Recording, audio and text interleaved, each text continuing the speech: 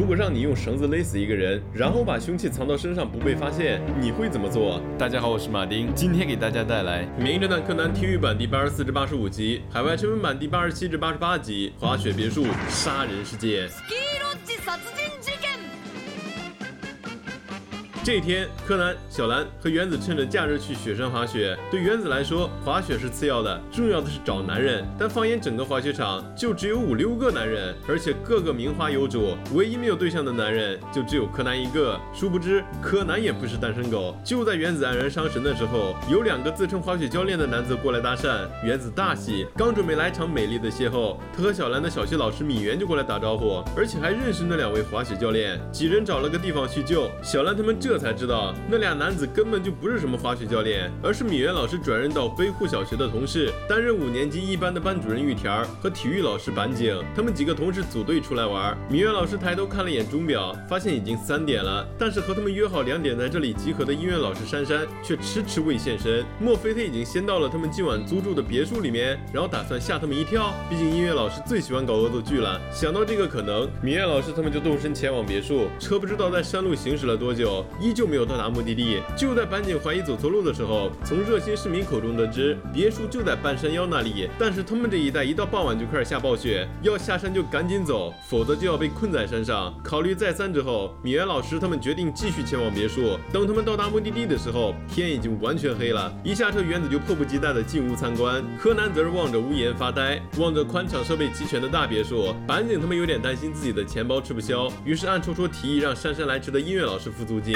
说曹操，曹操到，门铃响了。米原老师他们满怀期待的去迎接赞助人，哪知来人不是他们心心念念的音乐老师，而是颇为不待见的报社记者。记者一进门就丢下一个重磅炸弹。原本他打算把车子停在树林里面等待事件发生，但天公不作美，开始下起了大雪，所以只好进来打扰。如果不同意的话，明天的新闻头条就是北户小学老师将报社记者无情抛弃在暴风雪中。之后，米原老师让原子跟他去铺床单，小兰和柯南去厨房帮忙。奇怪的是，小兰他们去到厨房的时候，中村老师不知道去哪里了。与此同时，正在铺床的原子听到隔壁房间有异动，过去一看。更糟糕的是，下一秒原子也被躲在房间里的小黑捂住口鼻迷晕，然后勒脖，危在旦夕。听到动静的小兰和柯南急忙过去查看，看到原子倒在地上，小兰着急的抱着原子让他起来，原子却打起了呼噜，睡得香甜。这时米原老师也醒了过来，据他所说，他是突然被人从背后捂住口鼻，一下子失去意识的。庆幸的是他没有被勒脖子，但奋力挣脱的时候把额头撞伤了。凶手没有带走作案工具，但是带走米原老师的口红，还在他和原子的手上。分别写下了“ “me” ”和“ “na” 的两个字，这是什么意思呢？记者阴恻恻地说道。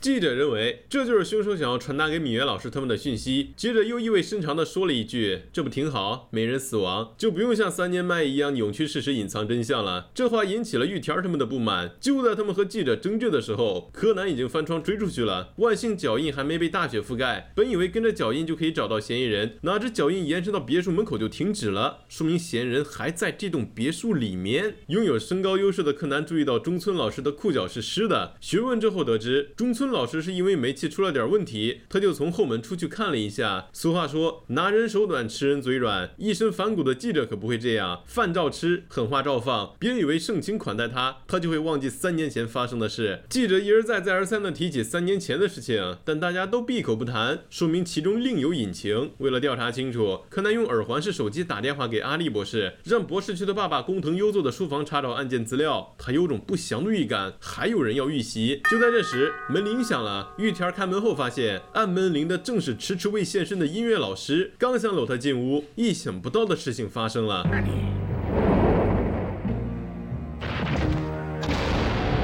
柯南还是低估了自己的能力，这哪里是遇袭，分明是遇害了。脖子上有道明显的勒痕，说明他是被人勒死的，而且尸体已经完全僵硬，死亡时间至少在九个小时以上。虽然不知道凶手是谁，但是应该和袭击原子他们是同一人，因为音乐老师的手背上也写了一个字，连起来读是美奈子。一听到这三个字，玉田崩溃的抱头鼠窜，嘴里还喊着不关我的事。得知因为风雪太大，警方无法赶来之后，小兰难过的说道：“要是新一在就好了，有。”他在，一定可以快速破案，避免有人再遭遇不测。说起新一，小兰眼里立马泛光，立即跟米原老师科普，就是那个在他不小心把大家的伙食费弄丢之后，从隔壁班过来帮他找到的小男孩，现在已经成为了高中生名侦探了。米原老师也有点印象，但他还没来得及开口，记者就率先说出来：工藤新一，年仅十六岁，经手案子无一错漏的名侦探。原本他还打算为工藤新一做一期专访，但是最近忽然销声匿迹了，听说是遇害身亡了。这话小兰就不爱听了，刚准备怼回去告诉他新一还活着，一旁的新一本心急忙阻止。对于记者来说，死亡人数越多，报道就更吸引眼球。但是米花该有的品质他还是有的，临走前特意提醒大家要特别注意独自在二楼的玉田儿。记者的直觉告诉他，下一个被杀的人是他。此时在房间的玉田也有这种感觉。之后，柯南到门口分析案件，门铃响起的时候，除了原子和小兰之外，大家都待在一起，说明是外部人员把音乐老师的尸体放到门口。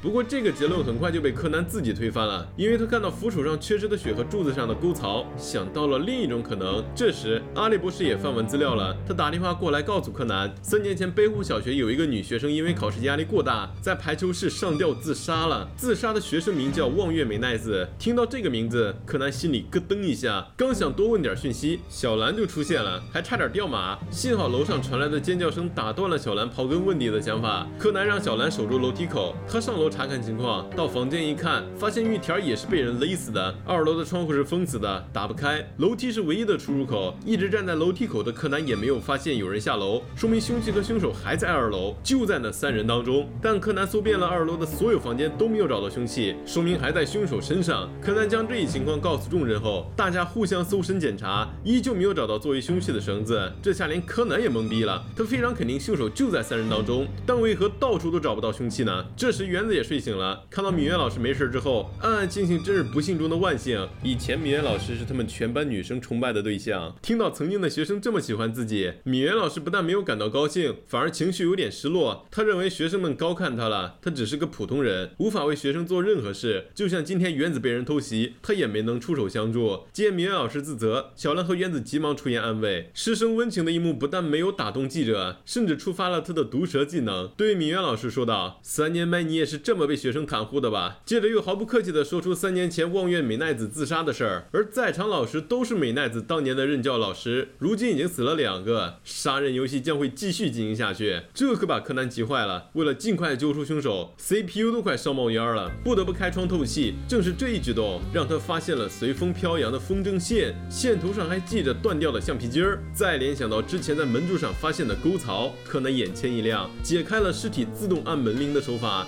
现在就只剩下凶器消失之谜了。不过这个问题没有困扰柯南太久，在他看到玉田脖子上的一根头发后就了然了。小伙伴们，你们知道凶手的作案手法了吗？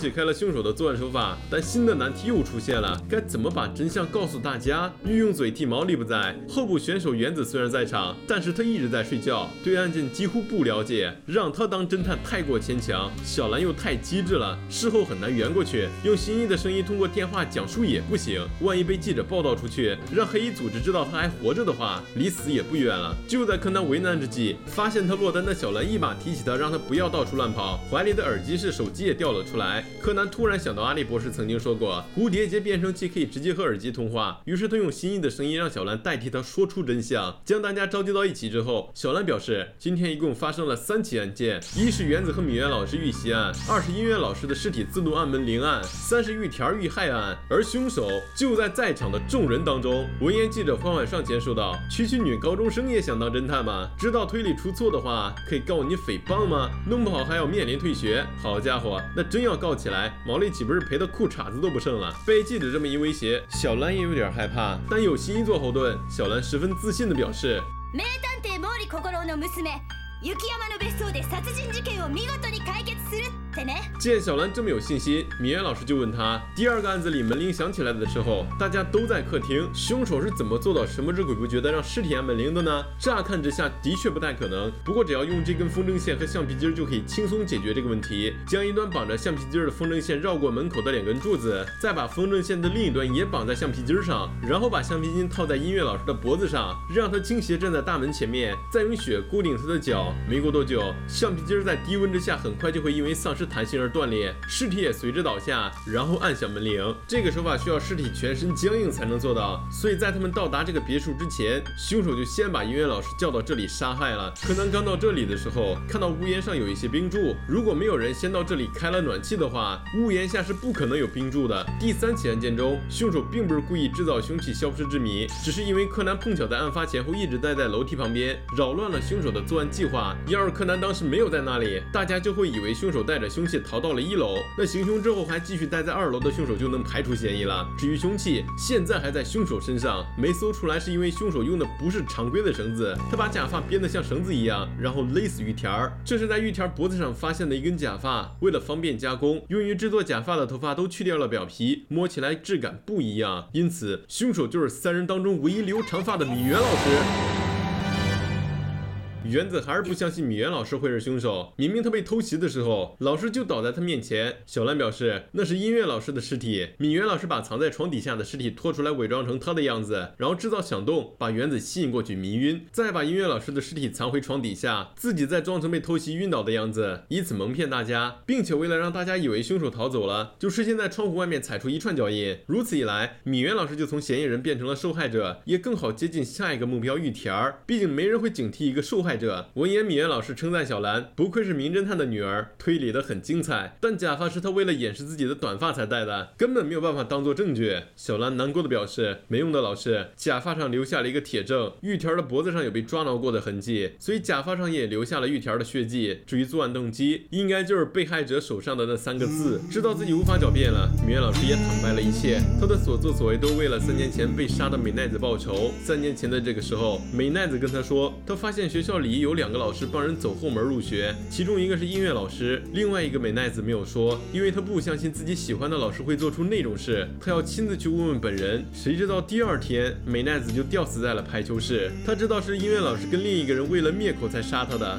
所以她就把美奈子可能会喜欢的老师聚到一起，计划了这次索命之旅。结果大家也都知道了，美奈子说的另一个人就是玉田儿。她没有办法原谅他们竟然背叛喜欢自己的学生，甚至还残忍将他杀害。同为老师。他无论如何都不能原谅，不过他也没有资格说别人，因为他为了达到目的也加害了原子。至于米原老师当年为何不报警，可能是证据不足，也可能是米花市市民对犯罪嫌疑人有一套成熟的惩治机制。以上就是《名侦探柯南：滑雪别墅杀人事件》的全部内容了。希望喜欢马丁讲故事的朋友可以来个三连支持一下哦。